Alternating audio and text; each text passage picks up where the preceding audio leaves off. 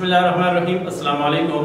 Welcome to chemistry in course of biology آج جو ہمارا ٹاپک اب اسٹڈی ہے، وہ ہے دا بریتھنگ میکینزم یا بریتھنگ پروسیس بریتھنگ پروسیس کیا ہے؟ انہیلیشن ایکسہیلیشن یعنی وہ پروسیس جس میں سے ہم taking in of oxygen and giving out of carbon dye oxide کرتے ہو، لیکن وہ بھی ایک ایسے پروسیس کے ذریعے کہ جو کہ ہمارے اختیار میں نہیں ہوتا۔ تو اس کو ہم کہتے ہیں ایک انوالنٹری ایکشن ہے یا اس کو ہم کہتے ہیں it is a best example of the reflex action تو چلو ٹاپک کو سٹارٹ کر لیتے ہیں یہاں سے کہ breathing can be control by two ways the voluntary as well as in the involuntary ways the voluntary ways control automatically while involuntary way control by the will of organism جس طرح ابھی میں نے ذکر کر دیا کہ نارملی بریتنگ ہمیں اندازہ نہیں ہوتا ہم سانس لے رہے ہوتے ہیں اور کنٹینیوسلی لے رہے ہوتے ہیں. یہ بھی ہم تقریباً نہیں گنا ہوا ہوتا کہ تقریباً پر منٹ میں کتنے ٹائمز ہم نے بریتنگ یا سانس لیا.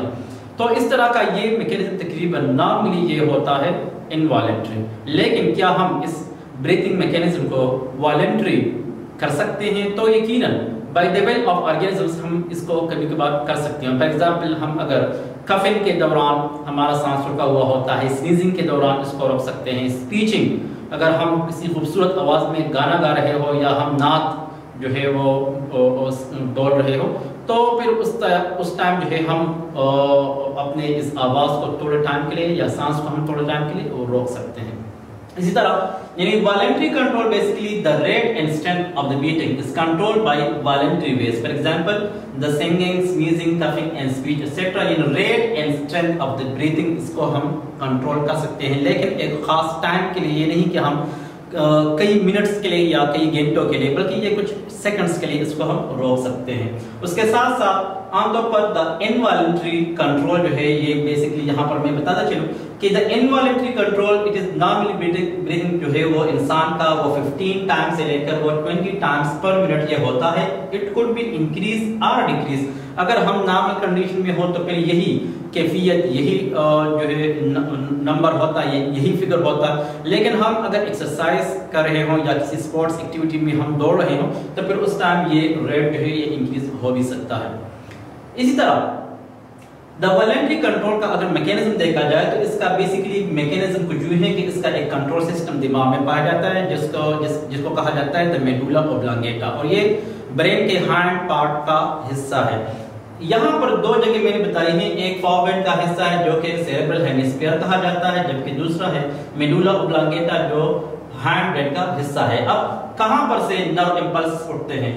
سیریبرل ہیمسفیئر سے یہ نرو امپلس اوریجنیٹ ہوتے ہیں یعنی والنٹری کنٹرول کا یہاں پر جو میسج ہے وہ یہاں پر بنتا ہے۔ پھر اس کو سیدھا پاس کیا جاتا ہے ٹورڈز دا میڈولا اوبلانگیٹا پھر پورا میکینزم جو اس کی کنٹرول کرنے کا ہے وہ میڈولا اوبلانگیٹا کے پاس ہے۔ اسی وجہ سے ہم کہتے ہیں کہ جو والنٹری کنٹرول ہے، اگر سنگنگ ہے سنیزنگ ہے کف یا سپیچ ہے تو بیسیکلی یہ میڈولا بلانگیٹا کی وجہ سے اس کو کنٹرول کیا جاتا ہے یا ٹوائلٹ تھوڑا ٹائم کے لیے اس کو روک لیا جاتا ہے تو یہ تھا کہ what is the mechanism of voluntary control now what is a reflex action the reflex action is a kind of involuntary action what is not under the control of a humans it's it's occur automatically تو یہ خود بخود ہوتے ہیں now comes to the explanation of it mechanism of the reflex action the reflex action of breathing is controlled by the following steps. Normally انسان کے جسم کے اندر جو ایک انوالنٹری کنٹرول ہوتا ہے، یہ خود بہت ہو رہا ہے، لیکن اگر اس کے اندر ہم ایکچوئل میکینزم دیکھ لیں تو تقریباً یہ فائیو سٹیپس پر کمپلیٹ ہوتا ہے۔ اس میں پہلا سٹیپ ہے سٹیمولس کا، دوسرا ہے ریسیپٹرز تھرڈ ہے بریتھنگ سینٹر چوتھا ہے موٹر نارس پھر اس کے بعد ہے ریسپانس کا۔ تو چلو پڑھ لیتے ہیں ایکسپلینیشن ایکسپلینیشن میں فرسٹ نمبر ہے سٹیمولس سٹیمولس کیا چیز ہے؟ وہ فورس جو ایکسٹرنلی انسان کے بریتنگ سسٹم پر اپلائی ہو یا انسان کے ریسپائریٹری ٹریک پر اپلائی ہو جائے، تو وہ سٹیمولس کہلاتا ہے۔ یہ کون سا uh, فورس ہوگا؟ It is basically the low and high level of oxygen and carbon dioxide. They it is a stimulus. Normally oxygen کا concentration atmosphere کے اندر وہ ہے 21% جبکہ کاربن ڈائی آکسائڈ کا رینج ہے 0.03% اپروکسیمیٹلی اب یہ رینج اگر زیادہ ہوتا ہے یا کم ہوتا ہے تو پھر بریتھنگ پر افیکٹ ہو سکتا ہے اسی وجہ سے اس کا ہائی اینڈ لو لیول ان دونوں کیسز کا یہ ایک سٹیمولیشن کرتا ہے انسان کے ریسپائریٹری ٹریک کو انسان کے بریتھنگ کو یا انسان کے انہیلیشن ایکسہیلیشن پروسیس پہ سٹیمولیٹ کرتا ہے اس طرح receptors Receptors kya cheez hai? Basically receptors mean those ions, those cells which are found inside your respiratory tract. They, uh, they detect changes from the external as well as from the internal medium.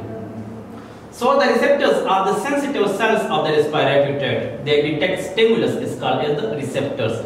تو یہ سٹیمولس کو basically catch کرنے والے ہیں اس کو check کرنے والے ہیں اس کو ڈیٹیکٹ کرنے والے ہیں۔ تو کون سے ریسپٹرز نارملی اس بریتھنگ میکانزم کے لیے چاہیے؟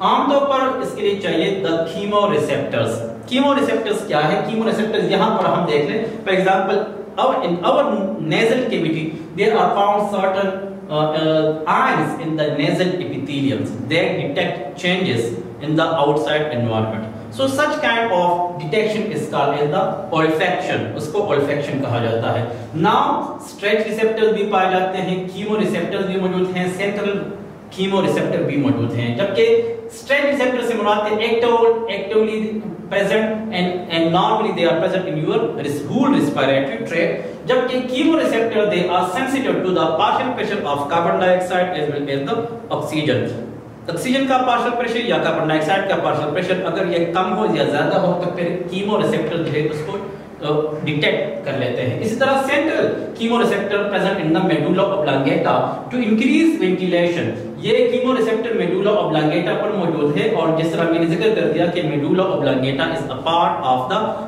hindbrain that control basically the لیکن یہاں پر سینٹرل کیمو ریسپٹر بیسیکلی یہاں پر موجود ہے اور یہ وینٹیلیشن سے مراد ہے کہ ان اینڈ آؤٹ وینٹیلیشن جس طرح کے ایک برآمدے میں اس طرح ایک ہوتا ہے، ایک وینٹیلیشن ایریا جہاں پر مختلف گیسز کا آنا جانا ہوتا ہے تو وہ ایزیلی اس کمرے میں یا برآمدے میں وہ اس کا آنا جانا آسان ہوتا ہے۔ تو اسی طرح سینٹرل کیمو ریسپٹر بھی اس طرح کی وینٹیلیشن پروسیس کو تھوڑا سا آسان کر لیتے ہیں یا اس کو انکریز کر لیتے ہیں۔ اسی طرح بریتنگ سینٹر تو چونکہ بھی میں نے ذکر کر دیا بریتنگ سینٹر ہوتا ہے میڈولا اوبلانگیٹا کے پاس۔ تو اگر سٹرکچرلی ہم اس کو دیکھ لیں، تو یہاں پر میں نے اس کو ڈرا کیا ہوا ہے۔ It is the the part of the medulla oblongata now there are basically three parts in this the upper part is the dorsal part the lower part is the ventral part while the sides are called as their lateral parts. Now there are two centers in the medulla oblongata one is the inspiratory center while second is the expiratory center چونکہ breathing دو steps پر ہوتا ہے ایک کو inhalation یعنی inspiration کہتے ہیں جبکہ دوسرا giving out of carbon dioxide یا exhalation ہے اب یہ دونوں جو ہے یہ it is under the control of medulla oblongata لیکن medulla oblongata کے پاس چونکہ یہ تین پارٹس موجود ہے اب یہی تینوں پارٹس دو سینٹرز کو کنٹرول کر رہا ہے انسپائریشن کو بھی ایکسپائریشن کو بھی inspiration basically it is under the control of its ventral part yani it is controlled by its ventral part while the expiration it is under the control of its uh, uh, lateral parts as well as their dorsal parts in upper parts as well as their side parts it control the expiration of the breathing process now what happened in the expiration increase rate and the depth of the inspiration. جس طرح ہم بہت زیادہ سانس لیتے ہوں یا slowly لیتے ہوں یا ریپڈلی لیتے ہوں، جتنا بھی زیادہ ہم لینا چاہتے ہیں تو اس کی ریٹ اور ڈیپتھ کو بیسیکلی اٹ از یہ جو وینٹرل پارٹ ہے، یہ کنٹرول کر رہا ہے۔ لیکن جو ایکسپائریشن کی بات ہے، تو اس ایکسپائریشن بیسیکلی یہ اس کا، یہ ریٹ اور ڈیپتھ کو بیسیکلی یہ ڈیکریز کر رہا ہوتا ہے۔ تو ہم کہتے ہیں اٹ سٹیمولیٹ دا ایکسپائریٹری میکینزم اس کے بعد دیکھ لیں، یہ ہو گئے تین پارٹ یا تین میکینزم میں تین حصے ہو گئے۔ اب جو چوتھا حصہ ہے، وہ موٹر ناؤس کا ہے۔ موٹر ناؤس بیسیکلی میکینزم کے اندر بہت ہی امپورٹنٹ رول پلے کر رہا ہے کہ جب کسی جگہ پر یعنی برین کے اندر جب کوئی ریسپانس بنا، اب اس ریسپانس کو بھیجنا تو ہے۔ Towards the stimulus area. تو وہاں پر بیچنا ہے تو موٹر نروز بیسیکلی کہاں پر ہوتے ہیں اور کہاں پر جاتے ہیں اپنے ریسپانس کو ریسپانس کو لینے کے لیے. تو breathing centre send message to the motor nerves چونکہ بریتھنگ سینٹر میڈولا اوبلانگیٹا ہے، یہ پارٹ ہے. اب یہ موٹر نروز کے تحت اپنے ریسپانس کو بیچتے ہیں. تو موٹر نروز کہاں پر ہوتے ہیں؟ انٹرپاسٹل موٹر نروز ہوتے ہیں اور پرینک موٹر نروز ہوتے ہیں. انٹرپاسٹل کے اندر چونکہ یہ سٹرنم ہے اور یہ ریپس کا کیج ہے، اب اس ریپس کے درمیان مسلز پائے جاتے ہیں۔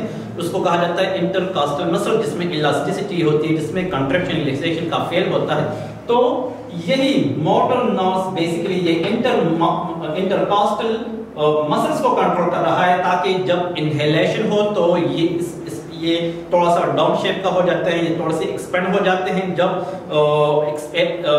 ایکسہیلیشن ہوتا ہے تو پھر یہ ریلیکس ہونا شروع کر دیتے ہیں۔ اسی طرح پرینک ناؤز ہے یہ ڈائپرام ڈائپرام یہ والا پارٹ ہے نیچے، جو کہ لنگز کے تقریباً یہ لور پا جاتا ہے۔ یہ کبھی ڈاؤن شیپ ہوتا ہے، کبھی اوور ڈاؤن شیپ ہوتا ہے، کبھی یہ ریلیکس ہونے لگتا ہے۔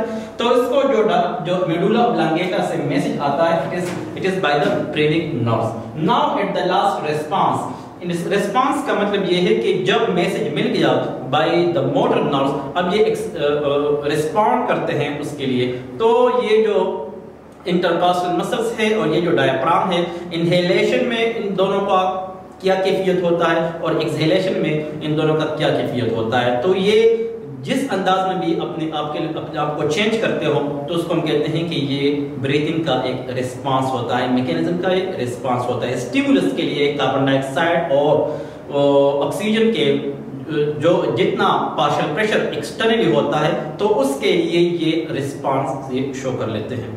آج کے لیکچر کے اندر ہم نے بریدنگ کا میکینزم پڑھ لیا، اس کے حوالے سے ہم نے والنٹری اور انوالنٹری میکینزم بھی پڑھ لیے۔ امید ہے کہ آج کے لیکچر کو آپ بہتر سمجھے ہوں گے۔ اس لیے ہمارے چینل کیمسٹری لنک کو زیادہ سے زیادہ شیئر کریں تاکہ آپ کو بھی فائدہ ہو اور آپ کے دوستوں کو بھی فائدہ ملے۔